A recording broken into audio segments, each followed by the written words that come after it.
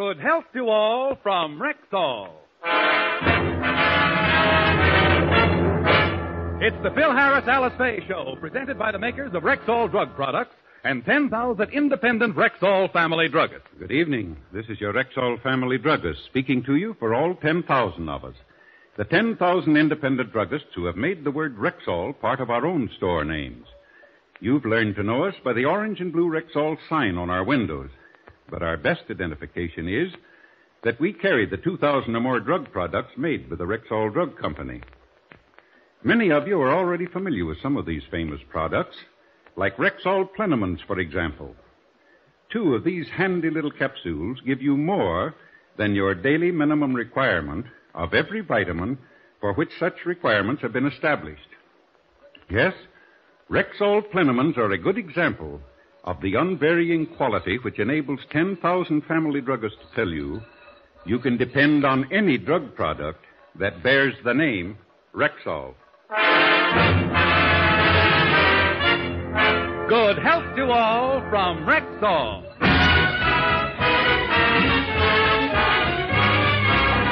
And now your Rexall family druggist brings you the Phil Harris Alice Faye Show. Written by Ray Singer and Dick Chevillat, with Elliott Lewis, Walter Tetley, Robert North, Janine Roos, Anne Whitfield, Walter Scharf in his music, yours truly, Bill Forman, and starring Alice Faye and Phil Harris.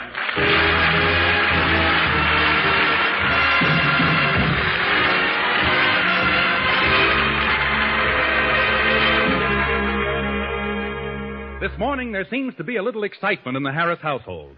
Phil has gone out to the garage to get his car when suddenly he comes bursting back into the house. Alice, Alice, something terrible has happened. Out of my way. Let me at that phone. Oh, take it easy, Phil. Calm down. What's wrong? My car's been stolen. Call the police. Call the FBI. Get Sam Spade. Phil, your car hasn't been stolen.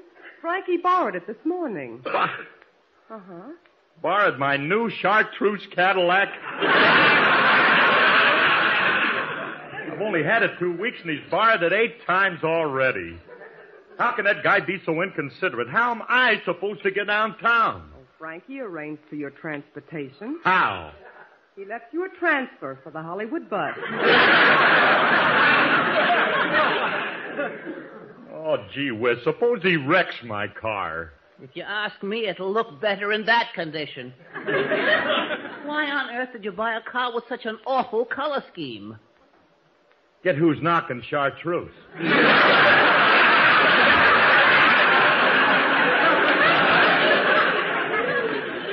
to hear you talk, you'd think you never saw a chartreuse convertible with pale fudge fenders. Philip, what made you get a chartreuse car? He wanted something to match his shoes. He has shoes that color? Why, to hear you talk, you'd think you never saw chartreuse shoes with pale fudge tongues. Philip, I don't know why you put up with Francis. He does the most awful things. Why, that man doesn't have one redeeming quality. That ain't so. Remley's all right. Everybody has bad points. He just happens to have a higher score than anybody. Oh, Frankie's always borrowing your car. He wrecked two of them last year, and, well, it makes me mad. Well, if I don't mind too much, why should it make you mad? Because I can't afford to keep buying you new ones. Maybe it'd be cheaper if I bought Frankie a car. Hold it, Luella. I ain't gonna have my wife buying some other guy a car. I'll buy him one. With what?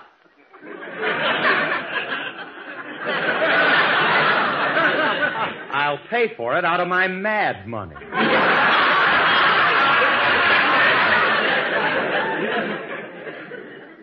I'll let him go down and pick out a cheap used car for himself. No, Phil, you know Frankie won't pick out a cheap used car for himself. He'll pick out the best new one on the market. No, he won't. Not the way I'm going to handle it. With my plan, I'll guarantee he'll be the one to suggest a used car. I'll tell him it's for you and that I'm. Wait a minute, I'll get it. Hi, Curly.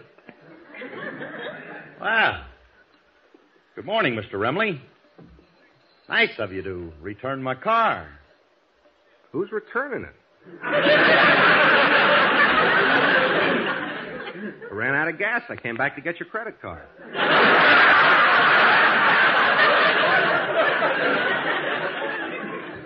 Remley, you ain't getting no credit card. And furthermore, I want you to stop driving my car, and that's final. That's okay with me. I wouldn't drive it again anyway until you had it repainted. that awful chartreuse color is affecting my social life. Frankie, it's a beautiful greenish yellow. Yeah, that's the trouble. It looks like an unripe taxi. Now look here, Remley. Every I'm time not... I stop to pick up a girl, she jumps in and yells, "Follow that cab!" Now listen, I'm not going to stand... I don't mind that, but the ticking of the meter is making me nervous. Well, I don't care if. What meter? The one I had put in this morning, so it shouldn't be a total loss.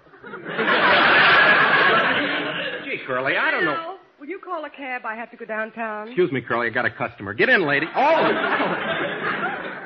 Oh, hello, Frank. Oh, Alice. Phil, did you uh, tell him about buying the car? What car? No, honey, I, I haven't had a, haven't had a chance to tell him that. That I have. You know, he just came in. What car? Well, it's a car. You see, uh, I'm going to buy a, a new car for someone very close to me. Oh, gee, Curly, that's sweet of you. I, I don't know what to say except let's get over to the Cadillac agency and pick one out for me. Just a minute, Remley. This car don't happen to be for you. You see, I'm buying the car for, for Alice.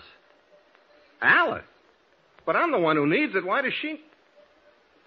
Oh, well, that's life. Money goes to money.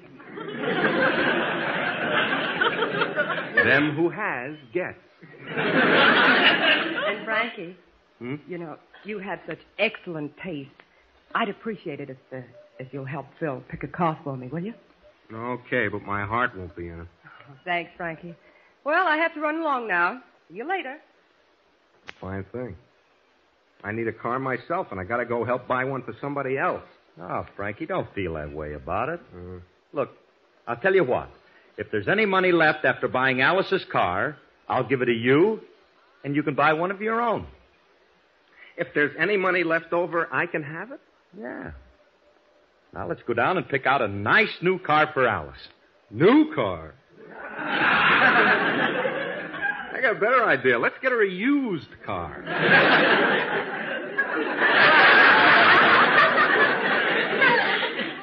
Yeah. Yeah.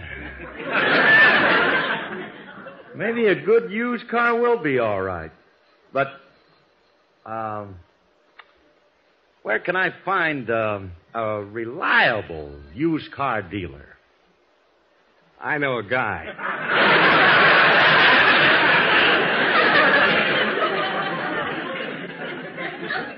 I figured you would. Look, Remley, I got $300 to spend, and I don't want to be gypped. Now, is this guy you know, is he, is he honest? Please, Curly. I'll thank you not to cast any aspersions on Hot Heap Harrigan. Hot Heap Harrigan. Is he the guy who used to be with Nothing Down Brown?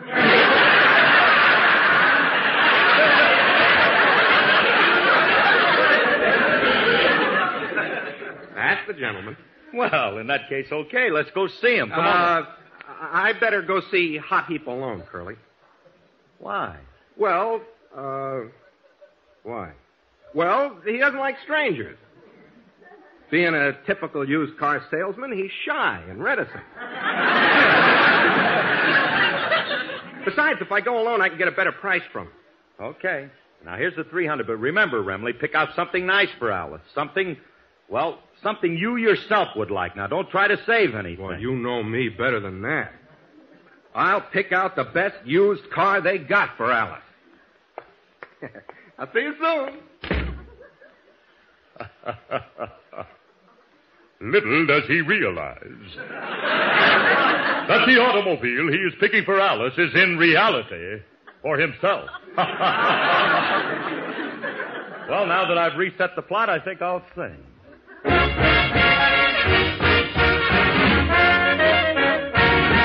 I got my Sunday best on, going strutting with my Lola Belle Lee.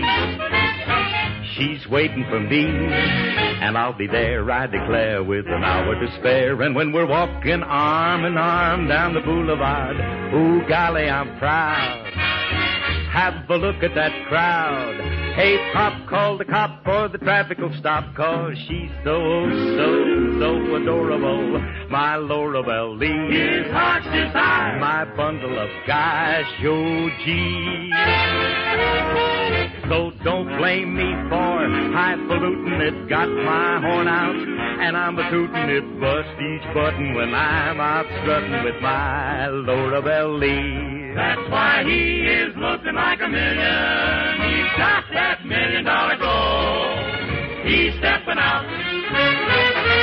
If you really want to know. I've got my Sunday best on, going strutting with my Laura Belle.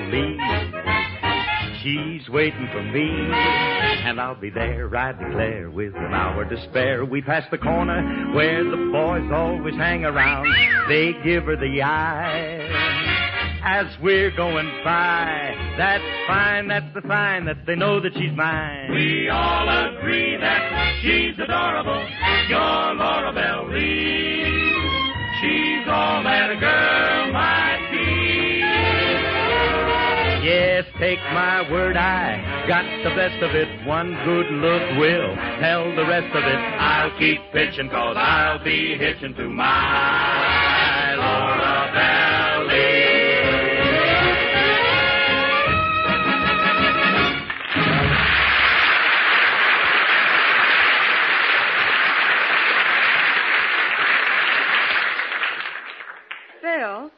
suppose Frankie doesn't like the car when he finds out it's for him and not for me. Honey, he's got to like it. He can't complain because he's picking it out himself.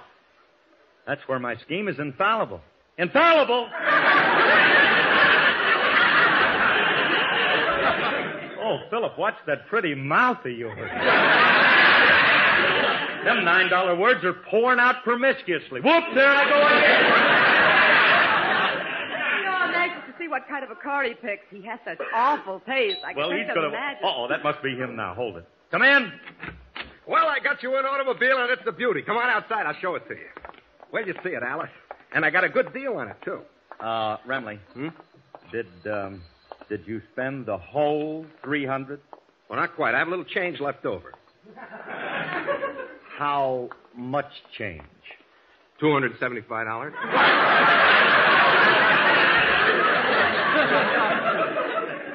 You paid twenty-five dollars for a car. What kind Don't of knock it till you see it. Well, Alice, here's your car. Ain't she a knockout? Frankie. Notice how low slung she is. Frankie. You'll be proud to drive a sleek, streamlined job like this. Frankie. What? That's the pile of cans Phil put out this morning. You sure? Could have sworn I parked it here. Oh, there it is, over there. Where? the big pile? the one leaning up against the garbage can. The one with the celery, celery, celery, celery sticking up is uh, the garbage can. The program was transcribed for earlier broadcast.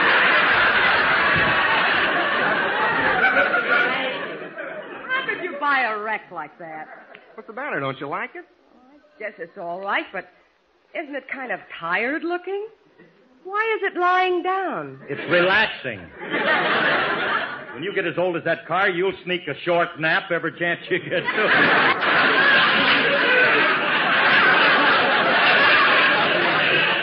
It's not an old car.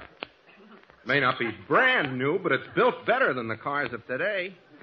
It's got fine material in it. Just look at the isinglass in that windshield. And it comes with a lot of extras. Goggles, duster, and a spare set of candles for the headlights. You got a radio? Radio. It's got something better than that. It has a console with a three-way combination. Crystal set, gramophone, and stereopticon slot. and these records come with the gramophone. Record? hmm Yeah, let me see them records. Yeah, here you are. Hmm. Nice set of cylinders. Good tunes, too. Oh, Susanna, Camp Town Races. Here's a cute one. I'll be down to get you in a taxi, honey, because I don't think this will make it. Good tunes. Your feeble attempt at humor is quite pathetic.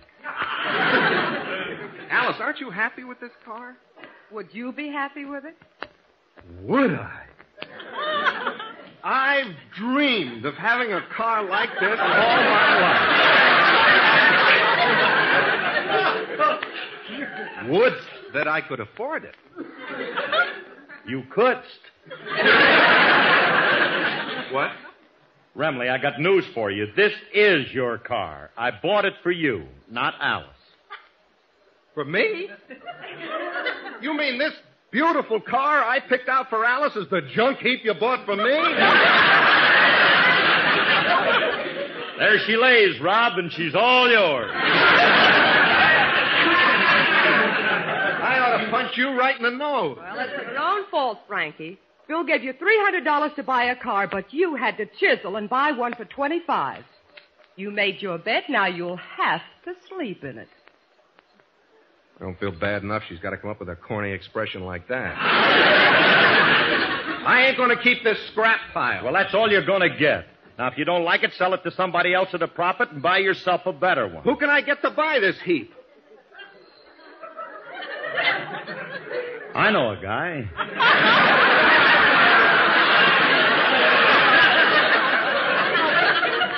Now he's stealing my character. how low can a man get? Alice, I don't know how you live with this man. Are you in love with him? Of course I am. Ah, you're just saying that. Come, girls, you can confide in me. What do you really think of him? Well, if you must know, I'll tell you. I like the lead to my song much better, and I work alone. I don't know. I'm as corny as Kansas in August. I'm as normal as blueberry pie. No more a smart little girl with no heart. I have found me a wonderful guy. I am in a conventional dither with a conventional star in my eye. And you will note there's a lump in my throat when I speak of that wonderful guy. I'm as bright and as gay as a daisy in May, a cliche coming. I'm bromidic and bright as the moon, happy night pouring light on the dew. She's as corny as Kansas in August, high as a flag on the 4th of July. If you'll excuse an expression I use, I'm in love, I'm in love, I'm in love, I'm in love, I'm in love with a wonderful guy. She's as bright and as gay as a daisy in May, a cliche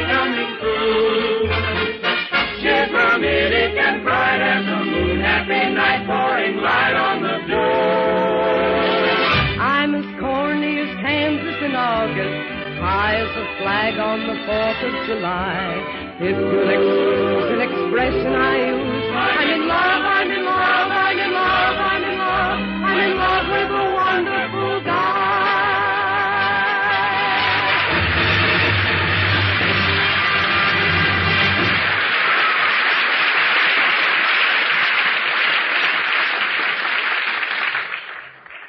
I did was ask her what she thought of him. She could have said I liked him, but no, she had to make a production out of it, going to a two-minute song.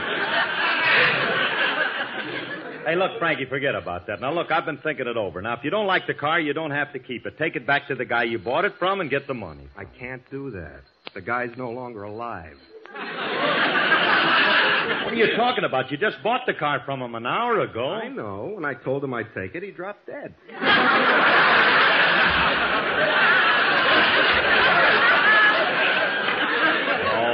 Oh. Well, anyway, he collapsed. Fell down. You know, Remley, come to think of it, now just quiet down a minute. This car doesn't look too bad. Well, maybe it doesn't. Well, if it has a good motor, you can have the body fixed up and, it, and it'll be okay. Hiya, fellas, I bring... Hey, what's that dead moose doing in the street? Julius, this ain't no dead moose. My new automobile. This is an automobile? Where did you this monstrosity? It's not a monstrosity. This automobile happens to be a family heirloom. My grandfather handed it down to my father. Well, old Butterfingers must have dropped it.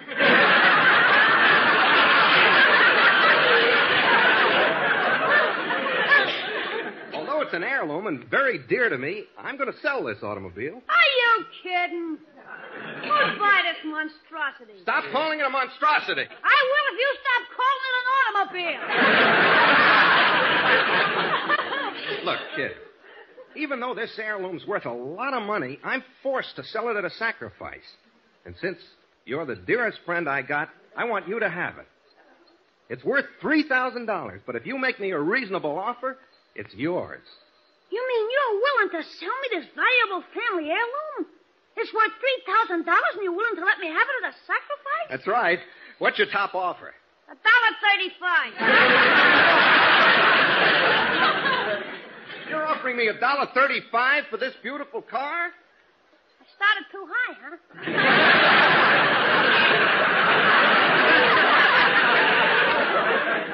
Look, kid, this is a good buy. It's got a wonderful engine. Do tell. What does it run on, steam or batteries? Now, don't be a wise guy. It's a modern engine. It's economical to run. It don't use much fuel. How much mileage can I get? Well, the last guy who had it got as much as 50 miles to one cord of wood. It burns wood? You can use charcoal if you want. Just think you'll be the only kid at school with a charcoal broiled Essex. You don't happen to have a barbecue Buick, do you? Look, son, this is a great buy. Come on, we'll take you for a ride. Julius, you start the motor. Okay, where's the crank? You don't need a crank for this car. Of course not. It's a cinch to start this motor. You see that slot, Julius, on the side of the hood? Yeah, what about it? Here's the key. Wind it up. What are you trying to do? Kill my sale? No, this car has a self starter. I'll show you.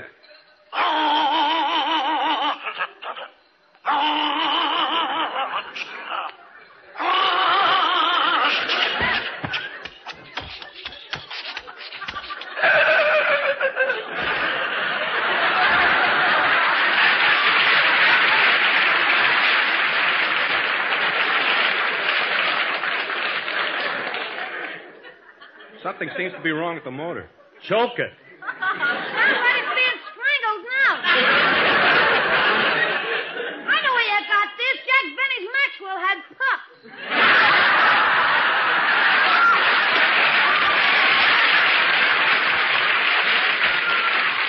You keep quiet, kid. I'll try it again.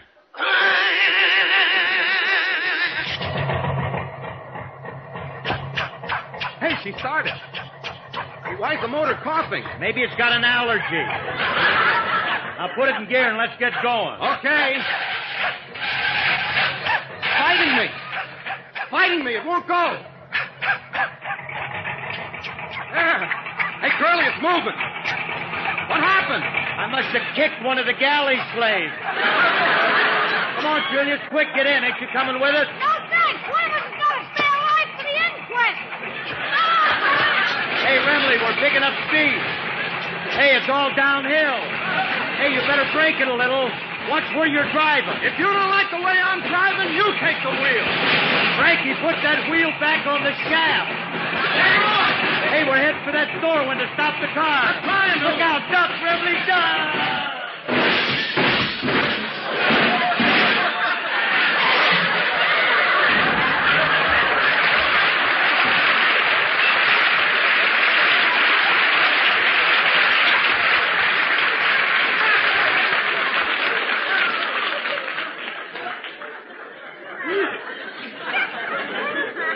I gotta have these brakes realigned.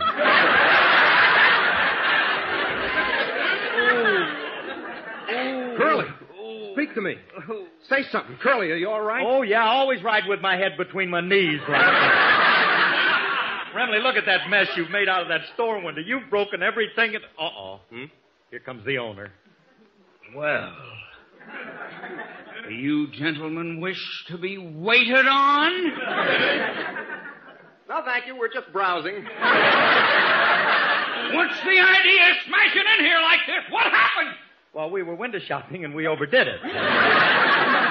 You'll pay for this. I'll sue you for every penny you've got. I'll take you Now, wait a minute, court. mister. I don't want any trouble. It's not our fault. I'll pay for any damage we've done. Now, how much do I owe you?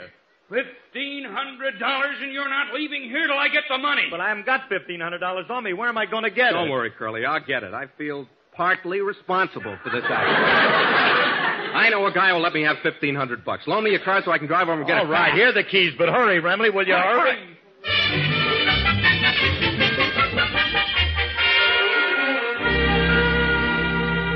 Thirteen hundred, fourteen hundred, fifteen hundred. There you are, mister. Okay. Now you can go, Harris. Oh, Frankie, you're a lifesaver. I don't know what I would have done if you didn't get that 1500 bucks. That's all right, Curly. You know me. I'll do anything for a pal. What a day. What a day. now, come on, let's get in my car and go home. Where'd you park it? What's on that lot on the corner of Fifth and Main? Well, let's go on over there and get. Hey, wait a minute. That's a used car lot. of course. Where do you think I got the fifteen hundred bucks? Oh.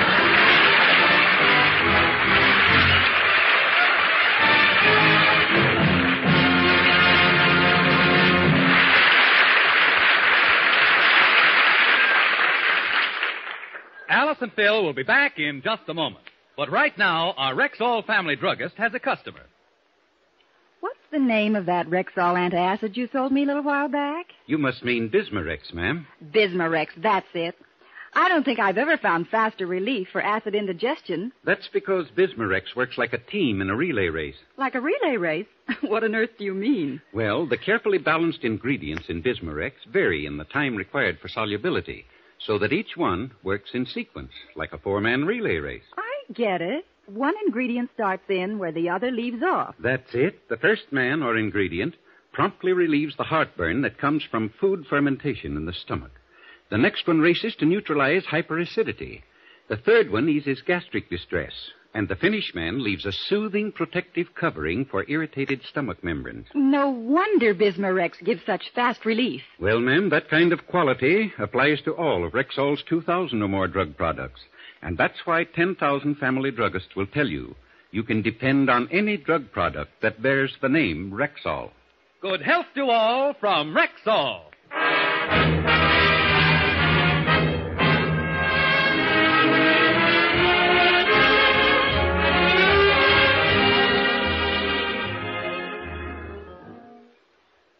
Phil, you were lucky to get your car back from that used car lot. I certainly wasn't. Remley, you ain't going to borrow it no more. You got your own car now. Anytime you want it, just go down to the grocery and take it out of the window. I already got it out. I gave it to my aunt as a present. Your aunt don't drive. What's she going to do with it? She's having it wired. She's going to make a lamp out of it. This program is produced and directed by Paul Phillips. Included in today's cast were Ruth Davis and Herb Vigran. The part of Frankie Remley was played by Elliott Lewis, and Julius was played by Walter Tetley. Alice Faye appeared through the courtesy of 20th Century Fox. Any special tips for drugstore shoppers this week? You bet, ma'am. A good one. Rexall ammoniated tooth powder. Many dental authorities believe that the use of ammoniated tooth powder means a decided lessening in tooth decay. And now Rexall brings it to you at the unbelievably low price of only 39 cents for a three ounce bottle. Why, that's less than I pay for ordinary tooth powder. And what's more, ma'am, Rexall ammoniated tooth powder is licensed by the University of Illinois Foundation and backed by the same uncompromising standards that apply to all of Rexall's 2,000 or more drug products. Ask for it wherever you see the orange and blue Rexall sign on the window. There's a family druggist inside who will tell you you can depend on any drug product that bears the name Rexall. Stay tuned for the adventures of Sam Spade, which follows immediately on NBC.